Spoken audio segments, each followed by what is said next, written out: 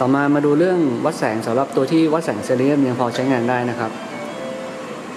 แผงรับแสงของมันเนี่ยคือมันอยู่ตรงนี้ มันเป็นเซลล์เซเลเนียมที่พอมีแสงเข้ามากหรือน้อยเนี่ย มันจะมีค่าไฟฟ้า แบบไม่ต้องใส่ถ่านนะ ตัวมันเองอะ่ะมันจะเปลี่ยนค่าความต้านทานไฟฟ้าอะไรพวกเนี้ย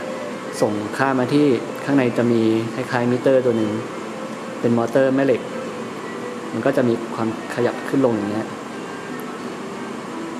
อันนี้คือหันไปที่แสงสว่างมาก เอาไอ้สีแดงนี่หลบไปก่อนนะ ดูสีขาวเป็นหลักจะมือบังตรงนี้ไปดูอีกทีนี่คือส่องไปที่นักแสงหน้าต่างข้างนอกช่วงกลางวัน พอมีการบังปุ๊บนะมืดเข็มตีหลบหายไปเลยอืม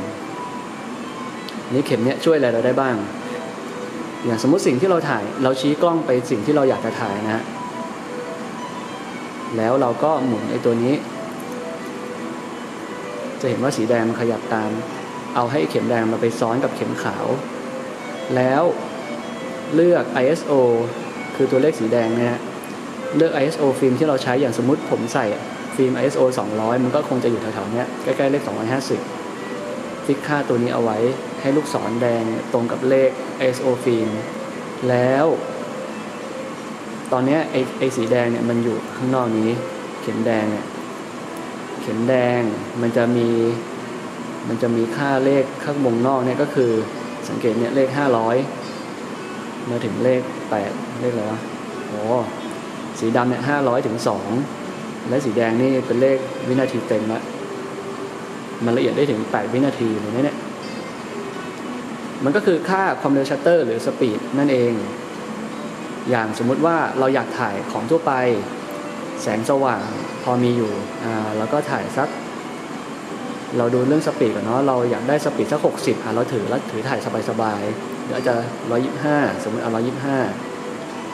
เดี๋ยวนี้ร้อยยี่ห้าปุ๊บเนี่ยค่าเลข ISO วงในเนี่ยพอมีการขยับปุ๊บเนี่ยจะเห็นว่า ISO ที่เราเซตไว้มันเปลี่ยนเพราะนั้นวงในเนี่ยเซตแล้วเซตเลย ให้เท่าฟิล์มที่เราใส่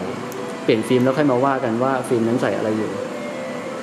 สิ่งที่เราขยับคือแค่วงนอกเท่านั้นอะกลับมาที่กล่าวว่า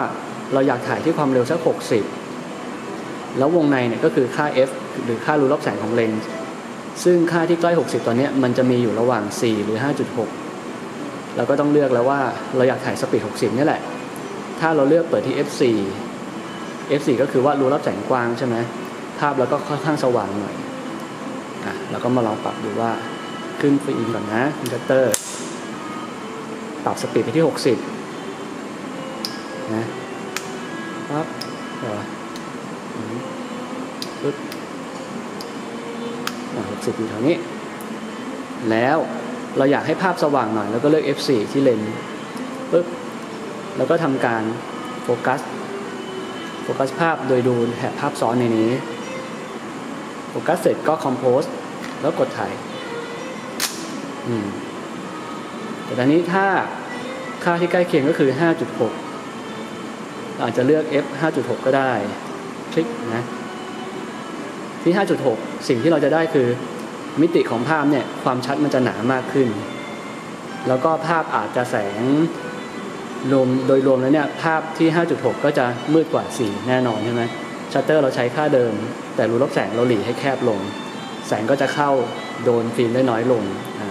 ประมาณนี้ตอนนี้ค่าอื่นใช้ได้ไหมแน่นอนใช้ได้ อย่างถ้าเรามั่นใจว่าตัวเลนส์กับระบบโฟกัสเนี่ยของเราแม่นเป๊ะ เราเปิด 2.8 เลย เอาละลายฉากหลังเยอะๆเลย ถ่ายแบบใกล้ๆ เอาว่าแบบอยู่ที่ 1 เมตรเลยก็ได้อะถ้าโฟกัสเราแม่นจริงนะ เปิด 2.8 เอาให้แบบยืนให้ระยะประมาณเมตรหนึ่งแล้วเราก็ดู rangefinder make sure ทีนึงว่าเข้าไหม เสร็จแล้วเราอยากได้ 2.8นะเรามาดูวงนี้ ค่าแสงเดิมนะ สีแดงซ้อนกับเข็ม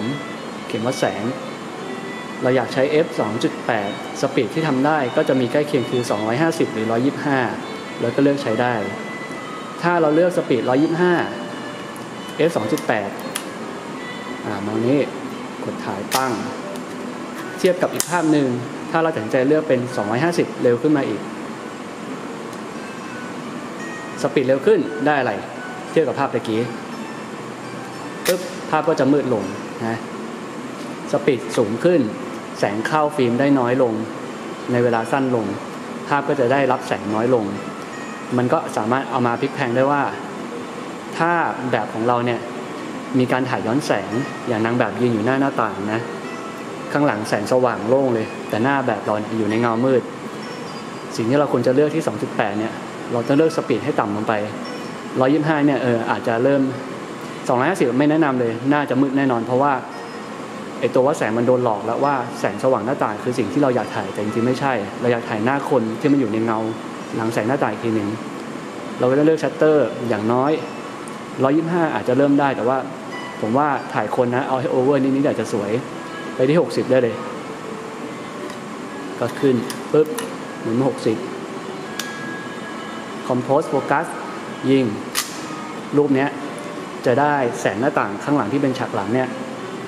ค่อนข้างสว่างขาวโพลนไปเลยไม่เป็นไร แต่หน้านางแบบเราอะกำลังสวย หน้าชัดหนังเบลอ ไม่เกิดเงาดำบนหน้า มันก็จะได้ภาพที่ค่อนข้างตรงกับสิ่งที่เราอยากจะได้มากกว่านะ